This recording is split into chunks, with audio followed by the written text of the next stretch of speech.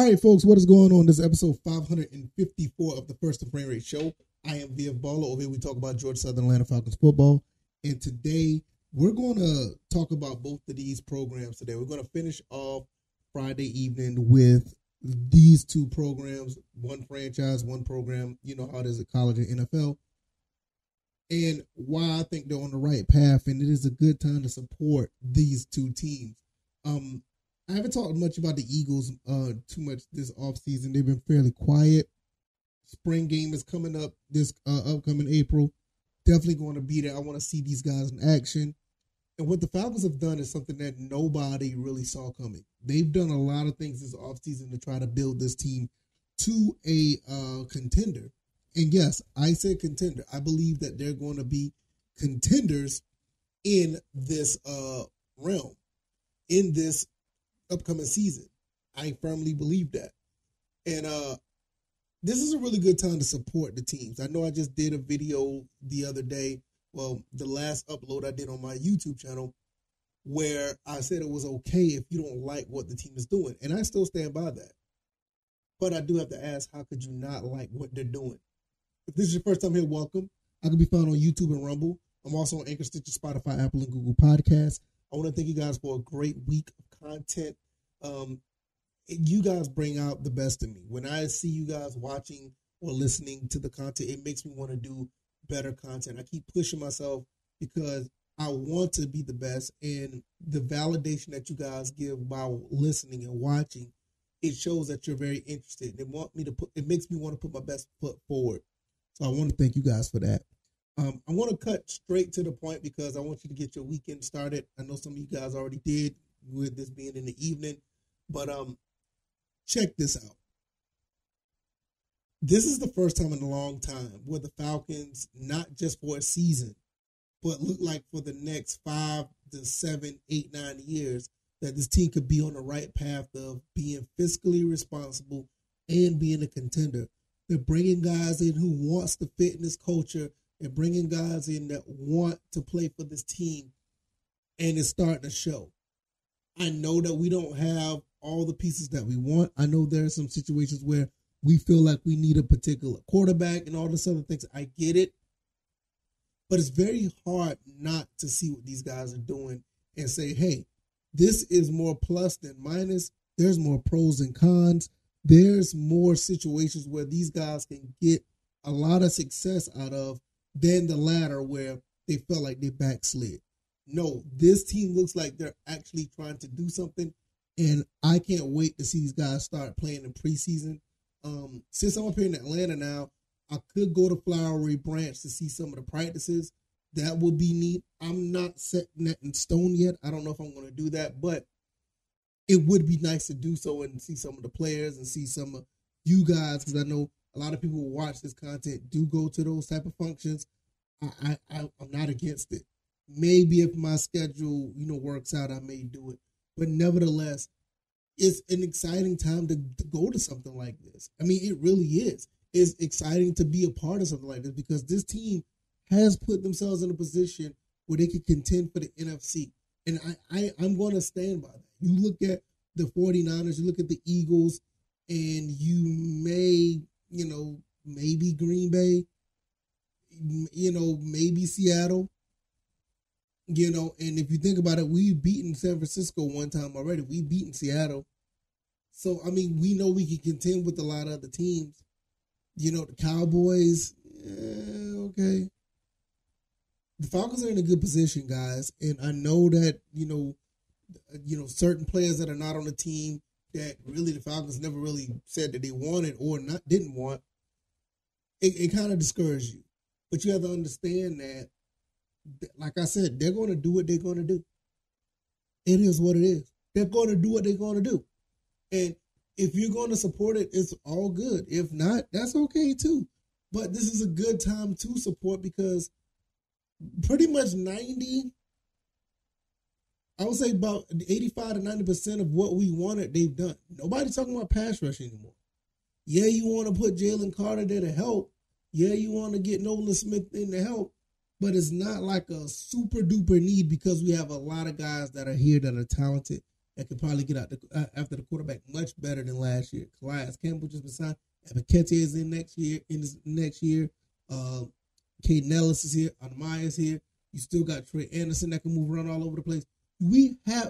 I didn't even, even mention Grady Jarrett, Ta'Quon Graham, Ogundeji. We got some guys who can do certain things. So it's not like we, we we're just you know in limbo. So not too many people talking about that. So they move on to the next thing. Desmond Ridder's not the guy. I don't know if he's the guy. He's not the guy, but I, have been saying it for a minute. Give the guy a chance. You have a guy that has a lot of weapons: Jonnu Smith, Kyle Pitts, Drake London, Mack Hollins, Scotty Miller. You, you uh, I keep thinking about um Cordarrelle Patterson as a running back, but you got to remember he can play wide receiver too. Uh, Tyler Allgeier can run uh, run the ball and catch out the backfield. Even though this guy only had four stars, they see some things that he could probably do. Can he do it? I don't know. I like what I saw, but is it sustainable? I don't know. Will he evolve to be one of these top 10, 15 quarterbacks in the league? I, I, I I'm gonna be quite honest. I don't see it right now. But at the same time, if the coaching staff want to give this guy a chance, I look at all the other stuff that they've done as far as coaching wise, the guys they put on the field. I think pretty much everybody except for like say Jalen Mayfield, Frank Darby, outside of those two, everybody else actually contributed in some form of way eh, to, to show some positive movement. So it's there. It is not hard to to understand that these guys are actually you know doing something. These guys actually got something together where they could actually you know probably rack up more than seven wins. You know, so I definitely feel like they're on the right path. When it comes to Georgia Southern, because you know I'm about the time to go ahead and split the, to the other team. When it comes to Georgia Southern, Georgia Southern has gotten themselves in a position to where they could be very prominent in the Sun Belt. They've done a lot of good things last year as far as beating Nebraska, beating the top 25 team, getting a bowl berth. Should have won that game, but I digress. We reloaded on our staff. We lost some guys. We brought some new guys in, brought a lot of transfers in.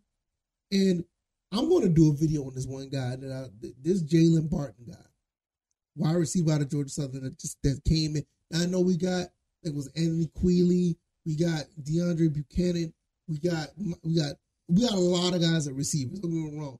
You know, um, Davis Brin, I think yeah, David Brin, he has no problem with with getting the ball to somebody. You got too many weapons. But something about Jalen Barton. I want to. I think I'm gonna do a full episode on him because I think he's going to be the the guy that probably shines a lot. I could be wrong, but gut feeling this kid could shine big time in this offense. Now I know we got the Derwin Burgess of the world. We got a lot of receivers that's going to be making it happen. Between I, like it's something about Jalen Barton and, and, and, Sam Kinnerson, and I think that I think I'm very biased when I say that because I know Derwin Burgess is a beast. Okay, there's no doubt about it. And we got some other guys that, that can play some ball too. Um, I really think that this team is going to be something special. I, I thought that we was going to go eight and four last year. We should have won eight and four because there's a couple games we should have won, but that's another story for another day. You got this running back group. You got this offensive line that was actually pretty good. You got a defensive line that's going that should do better they, they came on later on in the season and did a little bit better. I would like to see better tackling out of the um out of the defense, but they're on the right path. We went from three and nine to six and seven. Maybe we take six and seven and get those eight wins this year. I think we can do it. Now, there's not a lot of information on what's going on at Georgia Southern. I do have a couple people I can reach out to. I have not because they're still in the preliminary stages of just starting to practice. So it's not much to, to grasp on there. I did hear, you know, earlier about a month or so ago that um Davis Brin is shining. Davis Brin is looking really good. We could see um a Kyle Vantrease style or type of uh play. Hopefully with the less interception. But you know, no knock on him, but he did take some chances. But um we're seeing a situation where he could you know, elevate this offense to throw for four or 5,000 yards and still while running for another 18, 1900 yards. man, that will be a that'll be an awesome type of offense. But I'm going to look more into what George Southern's got going on because I need to put some more content about about this team. These guys is always shown, you know, some grit, some toughness, some blue collar style play. That's just what George Southern's always been about. With Coach Clay Helton at the helm, and he's bringing uh, more guys in the, the staff than the ones that we lost. Brought some more guys in, and it looks like that we're going to be right back in the fold. Um, I gotta just need to get some more information but they are on the right path. Falcons on the right path. Can't say nothing wrong about either one, in my opinion, because they've done a lot of things that is that is productive compared to other years where we've seen them backslide. Uh, both teams backslide a bit and didn't, or, or just run on a treadmill. It's going to be really exciting to see how this goes. I want you guys to enjoy your weekend. If you like this commentary, the like button, share this podcast, subscribe to the channel if you haven't already. Let me know what you guys think. Are both teams on the right path? I think so. I mean, it is a, a really good feeling to have where these teams are actually trying to progress instead of regress. Let me know what you guys think. I can be found on YouTube and Rumble, also on Anchor, Stitcher, Spotify, Apple, Google Podcast. Hit that like button. Give me a five star rating on that podcast avenue. Let people know what we're doing over here. I want you guys to enjoy your weekend. I'm going to be out of town for the next few days. Um, I will be putting up some content, but I'll definitely won't be here. But I'll give you an update on how things are going. And also got to put a check on that website as well, because I think the website's going to be booming in a little while as well. But we'll check all that at that time. You guys take it easy and you guys be blessed. Peace.